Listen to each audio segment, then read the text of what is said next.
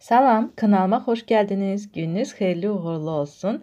Dostlar, bu videoda mən şirin qoğal hazırlayacağam. Siz də bu cür hazırlamaq istəyirsinizsə, videomu ötürmədən axıra kimi izləyin. Yəqin ki, çoxları mənim kimi uşaq vaxtı şirin qoğalı yeyəndə orta hissəsinə tez çatmaq istəyirdilər yeyərkən. Çünki ortasına hava qoyurdular, qıraqlarına isə yox. Mənim də çox orta necə deyirlər, qoğalın şirin tərəfi xoşuma gəlirdi dostlar. İndi isə arzumu necə deyərlər, e, gerçəkləşdirəcəm. Öz istədiyim kimi qoğal bişirəcəm. Deməli, burada mən istifadə edəcəm 1 stəkan süd, 1 çay qaşığı şəkər, yarım çay qaşığı duz, yarım çay qaşığı maya,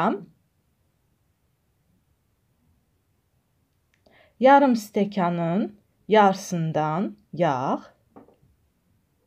bitki yağı və 1 ədəd yumurtanın ağını.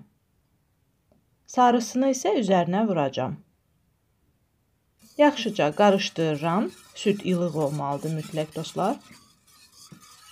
Bunun miqdarını çoxalda da bilərsiniz. Və 3 stəkan ələnmiş un əlavə edirəm.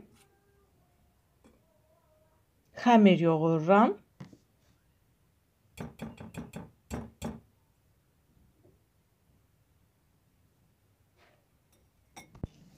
Dostlar, xəmir yumuşaq olmalıdır və mən burada xəmiri acıtmıram.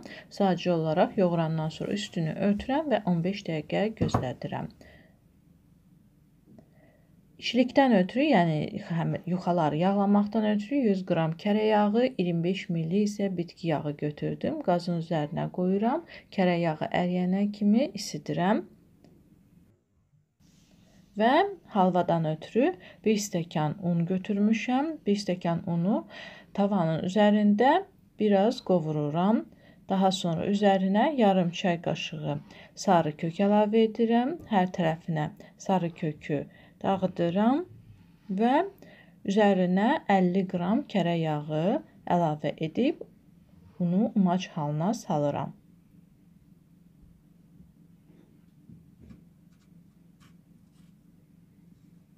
Umac halına salandan sonra qabını dəyişirəm.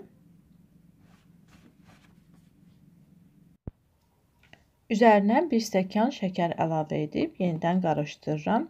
Şirin xoşlayırsınızsa biraz şəkəri artıra bilərsiniz. Yəni 1 stəkan yarım əlavə edə bilərsiniz.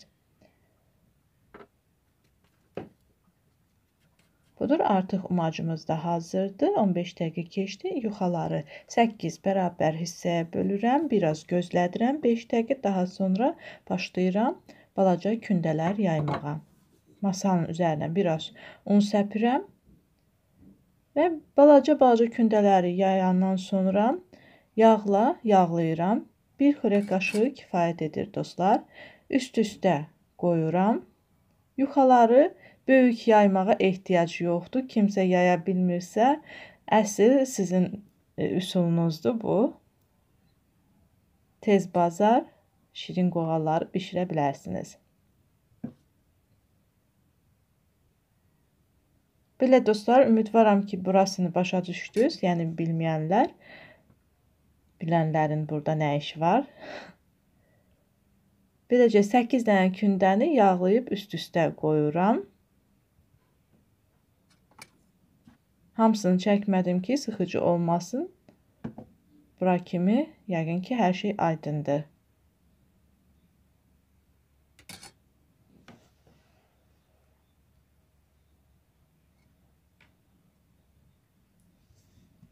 Üst, ə, e, üst ə, e, ən axırıncı yuxanın üstünü yağlamıram dostlar. Baxın, bax beləcə əllərimlə açıram, mərdanəsiz, uxlovsuz.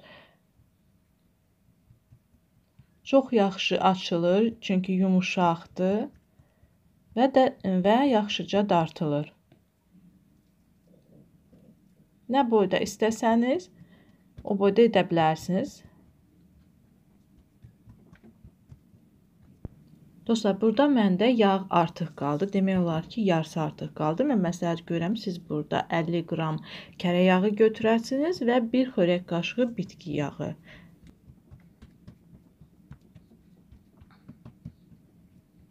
İnanın mənə bu üsulla edəndə heç gərək qalmır ki, yuxaları çoxlu yayasız, yoxsa necə deyərlər, əziyyət çəkməyə dəymir. Yəni həmən qoğallar da alınır dostlar.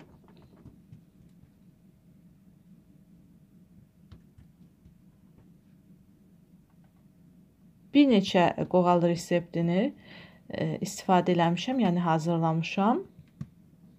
Hər dəfə də ayrı-ayrı reseptlərlə bişirirəm. Hələ qərara gəlməmişəm hansı yaxşıdır, çünki hamısı bir-birinə oxşuyur dostlar. Amma əziyyətinə qalsam, e, ən asandır deyərdim budur dostlar. Və necə deyərlər, burada da mən öz arzu istəyimi yerinə yetirdim. Yəni içliyi baxın dostlar necə edirəm. Hər tərəfə səpirəm. Yəni əvvəllər e, e, rulet formasında doluyurduq.